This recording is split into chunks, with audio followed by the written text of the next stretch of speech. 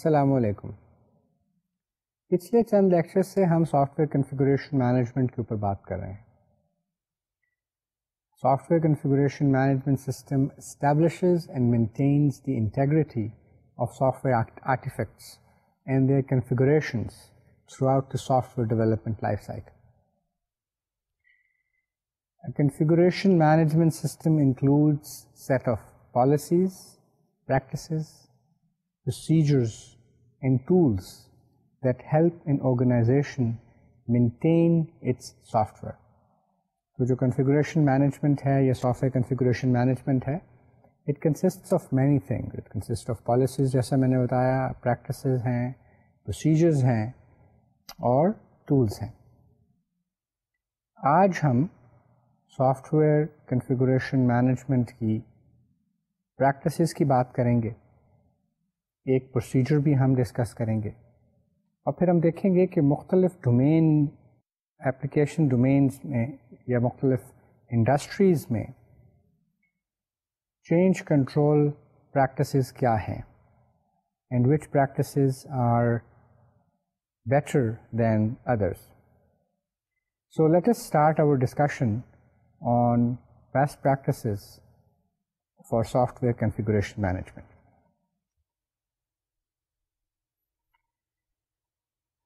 जैसा कि मैंने कहा था कि सॉफ्टवेयर कन्फिगुरेशन मैनेजमेंट जो है, वो बहुत सारे एक्टिविटीज़ का नाम है, इसके एस के बहुत सारे फ़ंक्शंस हैं।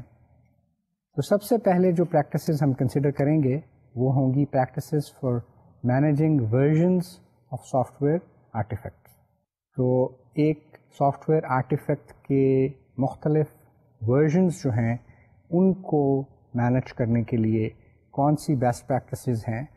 जो कि एक ऑर्गेनाइजेशन को एक सॉफ्टवेयर डेवलपमेंट कंपनी को या एक सॉफ्टवेयर डेवलपमेंट टीम को यूटिलाइज करनी चाहिए अडॉप्ट करनी चाहिए तो सबसे पहले है कि all source artifacts should be under configuration control. It is an obvious uh, practice, but yet it's very important and is a very powerful What this means is that any software code that is independent should be placed under configuration control. उसके जो भी versions बनते हैं, आप उसको बाकायदा version management करें through configuration management system ये ना हो कि आपके बाज़ जो सॉफ्टवेयर के पीसीज हैं, ये पार्ट्स हैं, वो तो कन्फिगरेशन मैनेजमेंट के अंदर हों बाज ना हो all source artifacts should be part of the configuration control mechanism. दूसरी जो प्रैक्टिस है वो ये है कि all artifacts used to produce an artifact of a delivery should be under configuration control. ये उससे next step है वो ये है कि ऐसे source codes, ऐसे artifacts जो हम यूज़ करते हैं to generate a delivery package for the customer वो सारा सॉफ्टवेयर भी कन्फिगरेशन कंट्रोल में होना चाहिए। This will help us in determining कि एट गिवन टाइम कस्टमर के पास कौन सी रिलीज़ है, कौन सा वर्जन है सॉफ्टवेयर का, और we can have an exact copy that a customer has. This is particularly important if you have many versions of a product and you have many customers who are using varying aspects of your software product. And so each customer may have a different version of the software product. So for any software package that is delivered to the customer, the software that is used to, to generate that package should also be under configuration control. तीसरी best practice जो है वो है कि work with in managed private work spaces now this looks very obvious कि हर programmer जो है उसकी अपनी एक प्राइवेट वर्क स्पेस होती है usually manage by that individual himself or herself. But sometimes it happens that the programmers are not careful and they mix uh, different versions in the same uh, workspace and as a result they have to face uh, many problems. So you should always work as a, as a developer should always work within managed private workspaces. You should actively manage them, ensure that once um, uh, software is ready uh, and it has met all the necessary uh, conditions for inclusion into the configuration control system, it should be submitted to the configuration control system immediately after that. And a new workspace may be needed to uh, to work on further development of that module. But that depends on the uh, on the need. But it is very important uh, that professionals, the programmers should maintain their private workspaces which they manage for a particular project. The next practice that we are going to talk about is, says that we need to save artifacts at the completion of intermediate steps of a larger change. That is, if we have change package, that is a large number of change requests have been approved, uh, we need to submit the intermediate changes uh, to the configuration control system uh, on a regular basis. That's a good practice. It enables protection against accidental loss of um, software code uh, and reduces and actually eliminates a lot of uh, uh, rework and a lot of problems that can happen, that can come to life if such care is not taken. The next practice we are going to talk about is to regularly synchronize the development work with others. It is very common that most of us, when we are working on software projects, have to collaborate our uh, efforts to make a software uh, product and many individuals are working on even one subsystem or uh, even one small set of classes or objects or artifacts that collaborate with each other, that interface with each other.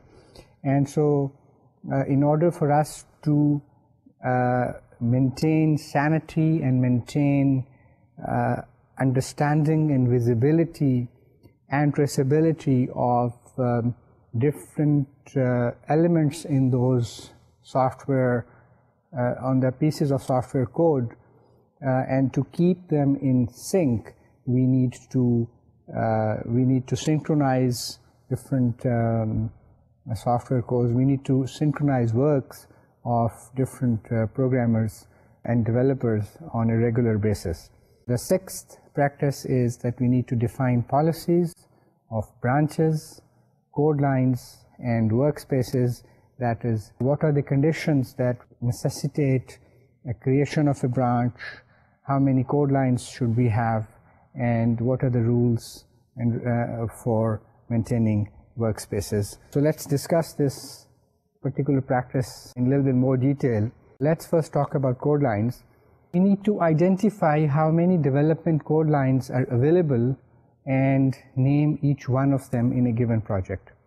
Typically, there is only one code line, but if you have a very large system and if you have system broken down into subsystems and there is need to maintain multiple code lines, then that need will necessitate to do so.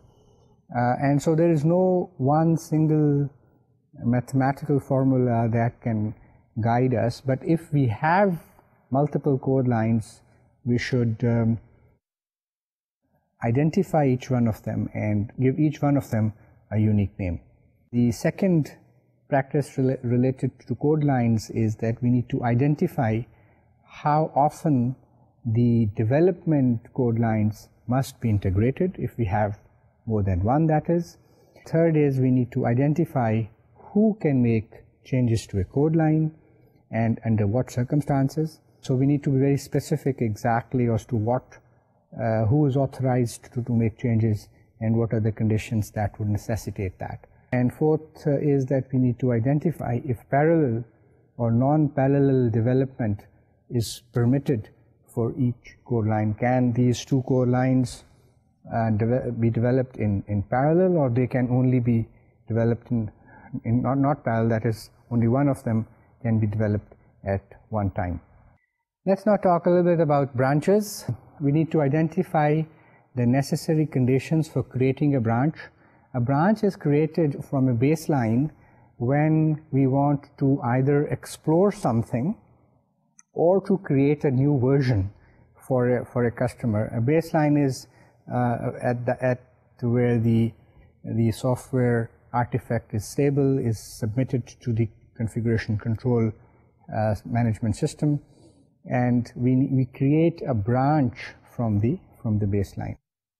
The second aspect regarding branches is that we need to identify the necessary conditions for merging a branch back into the source code line. So if we create a branch, then we obviously have to either our experiment has been successful and we merge that branch back into the main um, code line or we uh, sort of um, uh, go back and uh, destroy that branch if our experiment was not successful and we go back to our original code line. Uh, the third practice related to branches is that we need to identify the maximum period that an artifact can undergo change without being saved into the configuration management system. That this means that you have created a branch and uh, we need to identify the allowed time for that for the source code in that branch to be without to be out of the configuration control system and into the hands of developer without any checks uh, and if such a time lapses then we need to uh, to raise an alarm and this can be done with the help of tools without much difficulty let us now talk about uh, workspaces we need to identify who can read and write artifacts of a workspace.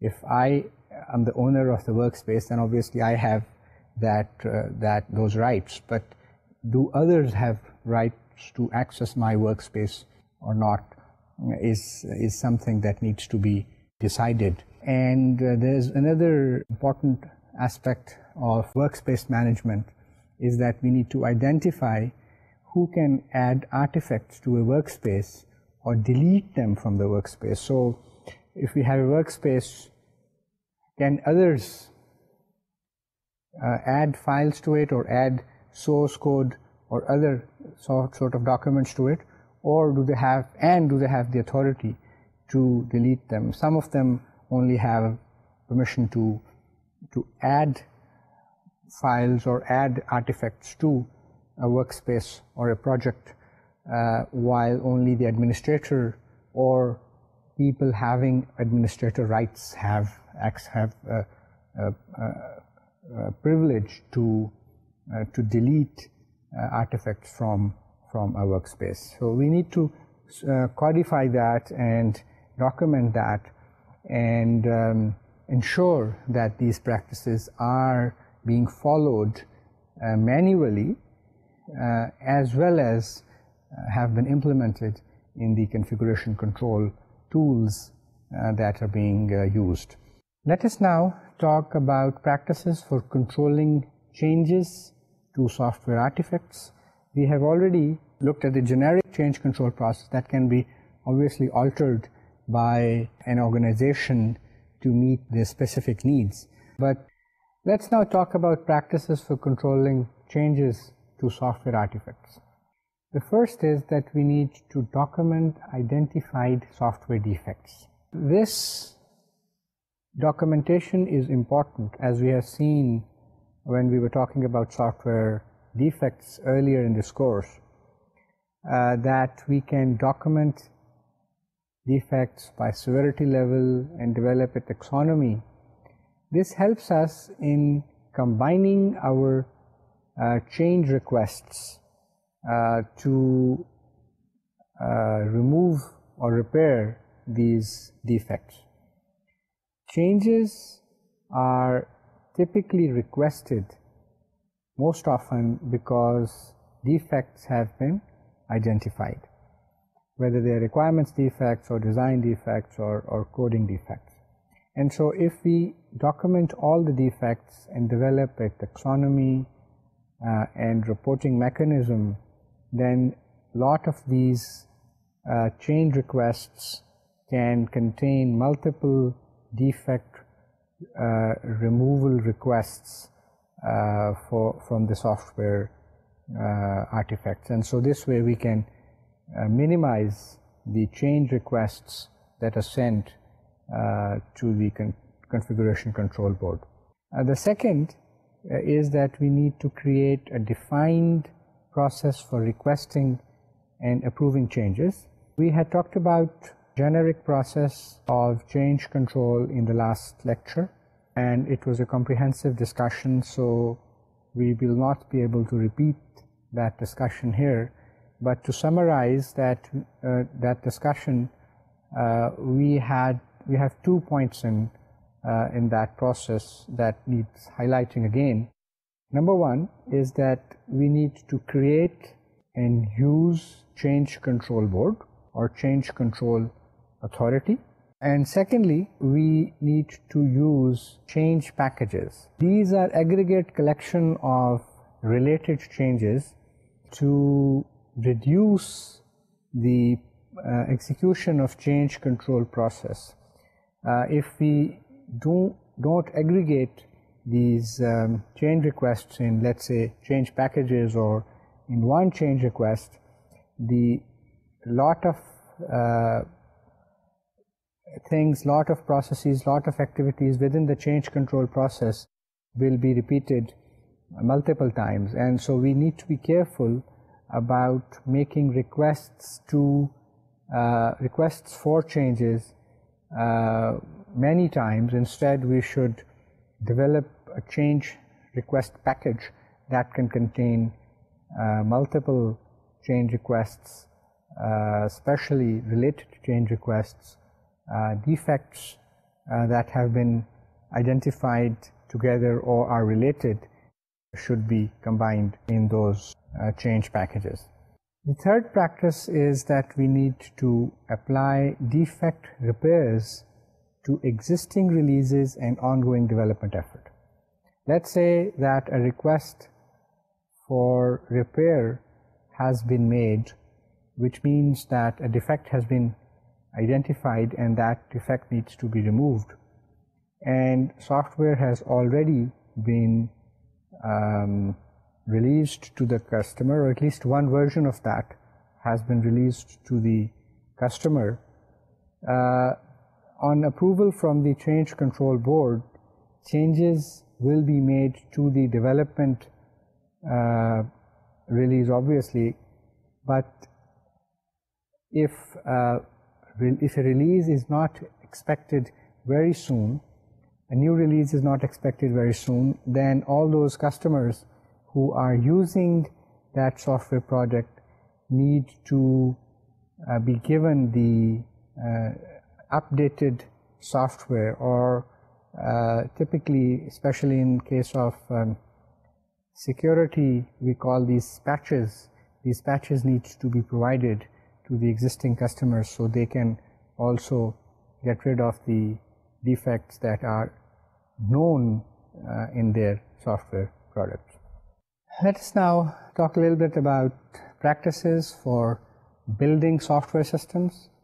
For every software product, every software release, uh, the entire software product consists of uh, several, or in many cases, many cases hundreds of individual software components or individual software modules or individual software programs that need to be uh, built together, integrated together uh, to create uh, a, a larger software systems. So the practices that we should have, we should adopt is number one to use shared and static build processes and tools. That is every time we uh, build a system or integrate a system into a project, uh, it should result in the same project.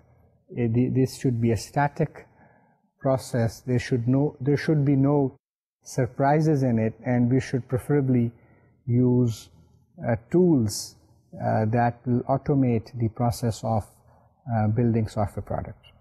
The second practice in this area is that we need to build software on a regular basis, preferably on a daily basis, that by the end of the day we would have a build available uh, that incorporates all the work that has been done uh, in one day and all the prior work. So, uh, and if not on a daily basis, then at least once a week uh, that build should be created.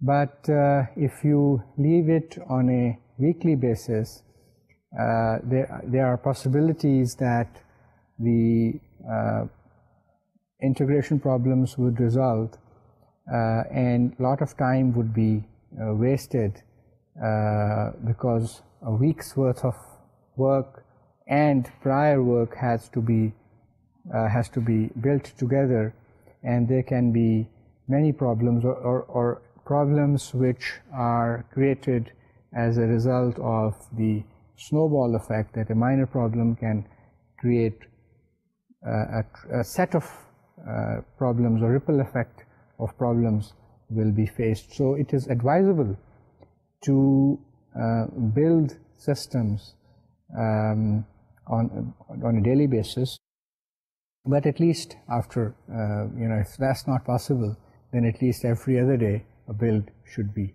created. Let's now talk about practices for releasing software systems. These include maintaining a unique read-only copy of each release for each customer. Now, if we are using uh, software tools to uh, develop a release, uh, then this can be easily done. The customer is given a copy of the product and a copy is maintained by the development team or by the vendor to keep a record and no changes should be made in that build. This is a read-only copy of each of that software release. Uh, this will keep the development team and the customer in sync with what has been given to uh, to a, a, customer at any given time uh, on a specific uh, release, and so the customer will will uh, will be assured that the development team also has the same version and no changes have been made to, to, to that version uh, in case there are uh, concerns or queries regarding that, that version. The second practice is, is that a version manifest should describe each software release. So that version manifest should be given to uh, the customer as well as a copy should be maintained uh, by the development team uh, which has information about all the components, all the software programs, all the modules um, that are part of that release. And so it should, the, man, the, the version manifest should um, have, the det have detailed information about what is the version number of each uh, program uh, and um, this manifest can also help us in recreating um, or referring to exact um, uh, source code elements or source code artifacts uh, in, a, in a given uh, software release. The third practice is that the software artifacts that comprise a release should adhere to defined acceptance criteria. In other words, every software source code artifact that's included in a release meets the acceptance criteria uh, set upon or agreed upon between agreed upon by the uh, customer as well as the developer. And so this will work as a uh, software quality assurance mechanism that every component that is given to the customer meets the acceptance criteria, both technical as well as manage, manage, managerial uh, or process related uh, that, uh, uh, that have been agreed to by the customer as well as the developer. So this gives lot of confidence to the customer that everything that they have been given meets the acceptance criteria which has been agreed to by the both parties. Let us now talk about practices for maintaining integrity of software artifacts. It is very important to maintain uh, integrity of software artifacts and the entire configuration management system uh, is one of the purposes is of software configuration management system is to maintain integrity of software artifact. So the first practice is that we need to use a software tool to perform software configuration management functions. As I'd said before that uh, software configuration management functions can not be truly performed without the help of a good uh, software tool uh, that that that can be tailored to uh, fulfill the policies set by an organization that meets or can enable the uh, following of practices and procedures. And so a number of tools are available. It is uh, on all sorts of platforms, on Microsoft based platforms, tools are available, on open source uh, products are also available. And so any organization, any development team, I would say as uh, small a team as two people should use uh, software configuration management tools to coordinate, to improve their uh, software development activity. Um, we will not be able to discuss different tools uh, in this in this course, but it is very important that all of us learn at least one tool and use it effectively to maintain our different versions and all the aspects of software configuration management. The second practice is that repositories should exist on reliable physical storage elements.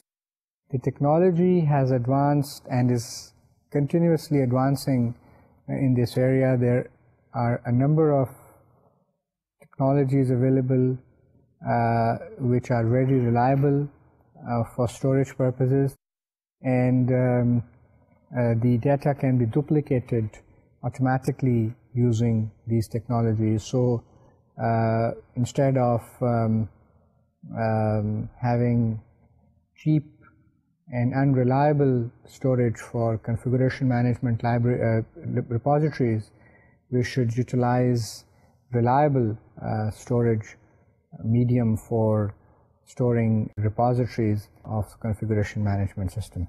Configuration management repositories should undergo periodic backups that will enable us to keep backup of uh, software that uh, has been created uh, with a lot of hard work from uh, all uh, personnel. Uh, and the fourth practice is that we should test and confirm the backup process from these repositories. Typically, in organizations, backups are taken, but if there is, a, there is no mishap, there is no need, uh, these backups are not restored and uh, the data, restored data is not used uh, and it is hoped that the uh, whenever the need arises, these uh, restores will take us back to wherever we want to uh, go, but this needs to be verified. Uh, and so it is the responsibility of the concerned people to, or the software configuration management staff to ensure that um, the restore process has been um, tested uh, and, and, and verified. Let us now talk about a procedure uh, or discuss a procedure for creating configuration management systems. The first step in that is that we need to acquire highly reliable and redundant physical storage and processing elements for the software repository. As I was saying that the technology exists uh, which is highly reliable and redundant so that the data is copied on multiple storage elements.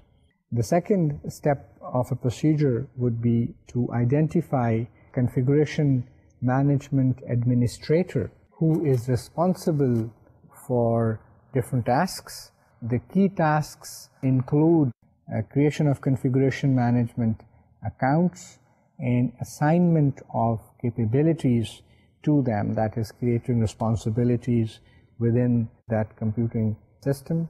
The second task is the enforcement of defined configuration management. The policies and procedures have to be defined before tool is acquired or at least have to be defined before a tool is used.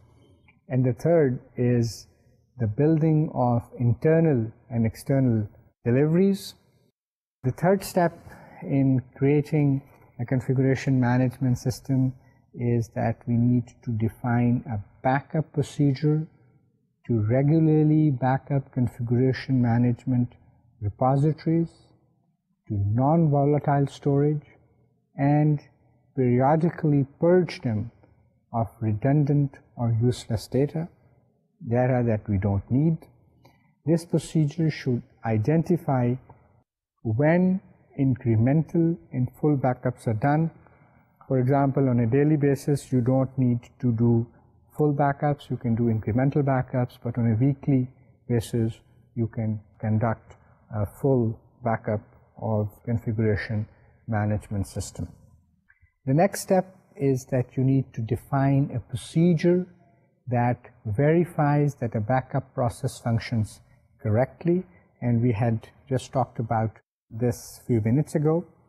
The next step is to determine whether work must be authorized. If work is authorized, then we need to establish a change control board, assign people to the change control board, and define rules for approving changes to artifacts. This is based on a change request. If a change request is submitted, should we approve it or not? If we approve it, then that has to be done using a change control board. The next step is that we need to identify the number of development lines. Typically one is sufficient. If more than one development line or code line, as we have referred to, is needed, then we need to specify the frequency of the integration of each development line into the main development line or main code line. Another step is that we need to identify the number of new tasks that an individual can work on simultaneously. That is how programmers are given assignments and tasks that they can perform simultaneously. We also need to determine whether parallel development is permitted, determine if branches can be created for tasks other than parallel development or the development of releases. If branches can be created, then we need to identify who can create a branch, specify under what conditions these branches can be created, and establish the criteria for determining when merges are performed. And so this process of merging is very important because uh, at this time uh, two different uh, versions of the same code is to be brought together and merged with each other and if there are any conflicts those need to be resolved.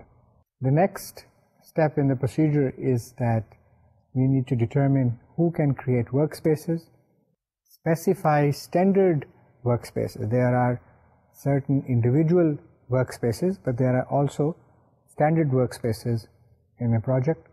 Another important step is to identify what information should be specified with each new development task, with each new change request, and if a defect report is submitted. So you need to consider performing following steps that we are going to talk about now, following actions for each change request and anomaly report or defect report as it is known.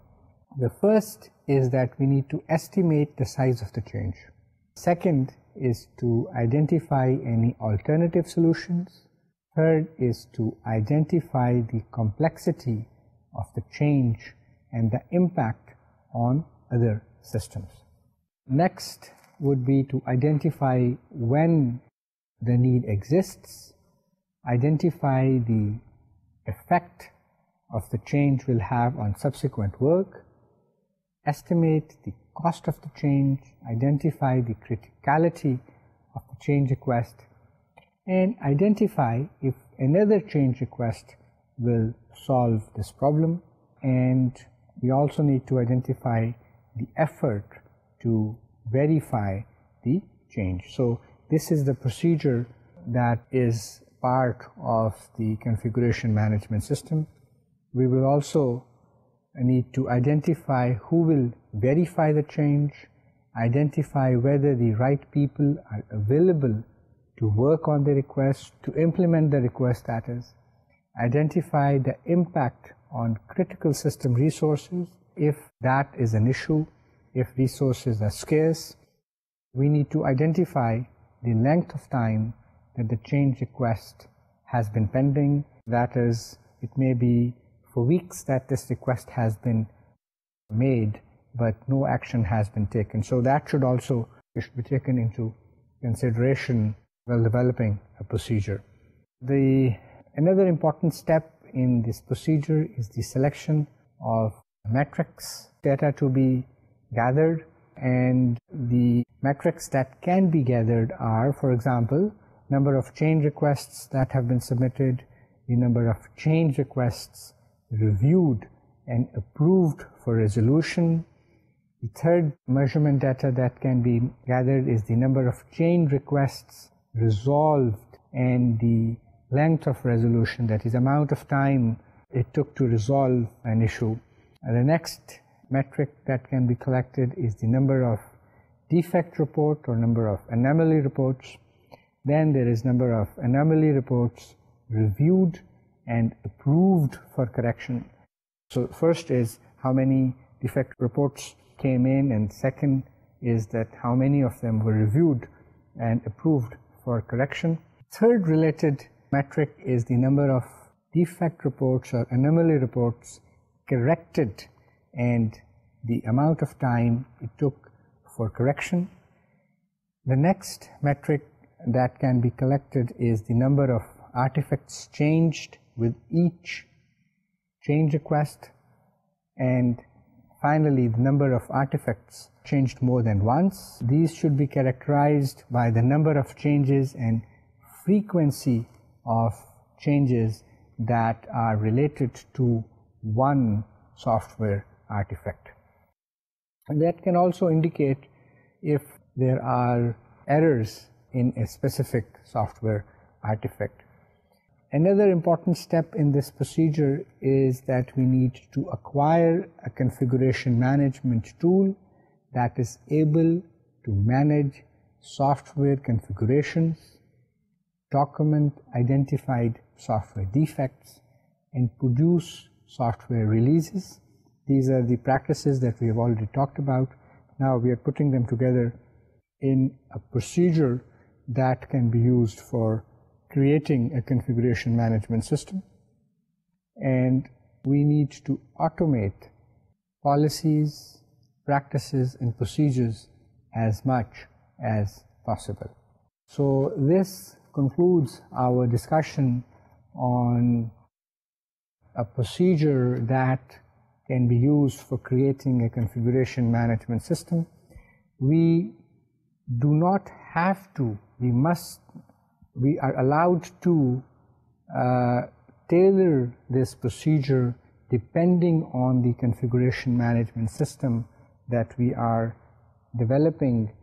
Um, but these are the broad categories, ingredients, so to speak, of uh, different important things that must be followed when you need to create a configuration management system.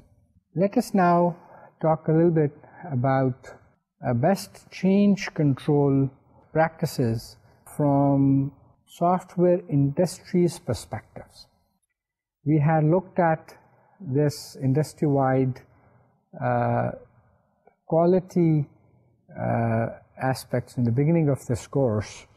So if we if we repeat that uh, process here with respect to configuration management practices, it'll refresh that refresh us that software industry is split into multiple areas. There are MIS software projects, there are outsourced software projects, there are system software projects, there are commercial software projects, and then there are military software projects, and each one of them or each category of these projects would require a slightly different uh, configuration management uh, practices uh, and one set of practices cannot be applied directly to um, the other set of um, practices or cannot be directly applied to every domain that software systems address. So let us now first talk about change control practices for MIS software projects. The first is that we need to have change control boards for all projects larger than 5000 function points and at CCB usually would have a minimum of three people and a maximum of seven people. There should be an automated change control process for all deliverables which include requirements, specifications, design documents, source code, test plans, user documentation and training material. For projects larger than 15 function points in size, estimate and measure the function point totals of all changes to software products. So whenever there is there are changes we need to have measurements and uh, estimation and measurements of function points if the number of function points uh, uh, is, is more than 15. These changes include requirements creep, removal or deferral of feature and requirements churning. So function point metrics for change must be must be determined and recorded uh, for MIS projects. For outsourced software projects, large outsourced vendors are quite uh, often experts in implementing change control mechanisms because they have the expertise in certain areas and they can use their configuration uh, control repositories to create different versions and different releases of related software projects. For outsourced software projects, often an application after it has been deployed, a new functions and modifications are requested on an average of 7% for several years in the beginning. Another practice for change control related to outsourced software project is change estimation and costing in contracts. Uh, specific clauses for change control are included in uh, outsourced agreements. The forms of clauses vary with the specific needs of the client but are often based on predicted volumes of the changes. Initial sets of requirements have a fixed price, but new requirements will be included at a higher price. So this is also a mechanism for change control. Another practice is that function point metrics for changes are calculated uh, or are estimated and measured. So we need to estimate and measure the function point totals of all changes to software projects larger than 15 function points. And for outsourced uh, software projects, change control board should be constituted for all projects larger than 5,000 function points. And CCB usually has 3 to 7 members. Automated change control should be incorporated for all deliverables which include requirements, specifications, design documents, source code, test plans, user documentation and training material, automated change controls tools that support only source code are adequate for projects larger than 100 function points. Let's talk about system software projects. For these kinds of projects, changes during development can occur for a much wider variety of reasons uh, than those found in internal information systems. For system software projects, all projects which has function points 10,000 or more should have CCBs and uh, automated change control should be applied as much as possible. We should determine the uh, function point metrics for all changes uh, and this data can be used for chargebacks and for billing and to ascertain the monthly rate of requirements creep. Let's now talk about commercial software projects. Commercial software vendors may market the same application on different hardware platforms. So they offer same application in different languages also, that is natural languages. They can offer a version in, in English, they can offer the same software uh, with the German interface or with the French interface. And so when major changes occur they affect dozens of versions of a software product. And so change control is a key technology for commercial software vendors. And one of the most important and very well practiced activity is automated change control for commercial software projects. Let's talk about military software. Military software community was an early adopter of change control practices, change control starts during initial development and continues until an application is retired. Change control boards are created for all projects which has more than 10,000 function points and, and consist of many representations, representatives from customer and from all uh, departments within the uh, system engineering project automated change control is applied uh, to as many projects uh, as possible. Uh, function point metrics are calculated, determined for changes. Cost estimates are made for changes so that an accurate accounting can be done. uh, requirements tracing and changes are